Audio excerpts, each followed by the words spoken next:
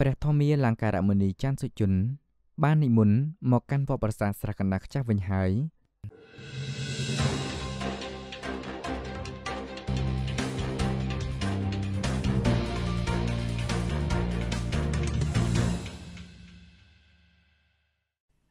លោកអ្នកសប្បុរសជាទីមេត្រី នៅថ្ងៃសៅរ៍900ខែបឋមសាន ឆ្នាំឆ្លូវត្រីស័កពុទ្ធសករាជ2565 ត្រូវនៅថ្ងៃទី3ខែកក្កដាឆ្នាំ2021នៅក្នុងថ្ងៃនេះព្រះធម្មាលង្ការមុនីច័ន្ទសុជន បាននិមន្តមកកាន់វត្តប្រាសាទស្រះកណ្ដាលខ្ចាស់វិញហើយបន្ទាប់ពីការដាក់ខ្លួនឲ្យនៅដាច់ដライប្រកបដោយជោគជ័យបំផុត ដែលទទួលបានលទ្ធផលអវិជ្ជមាន COVID-19 ក្រៅពីបានត្រឡប់មកកាន់ប្រទេសកម្ពុជាវិញអស់រយៈពេល16ថ្ងៃ ការនិមន្តមកដល់វត្តប្រាសាទស្រះកណ្ដាលខ្ចាស់នេះព្រះអង្គគ្រូ បានប្រគេនទេយ្យទាន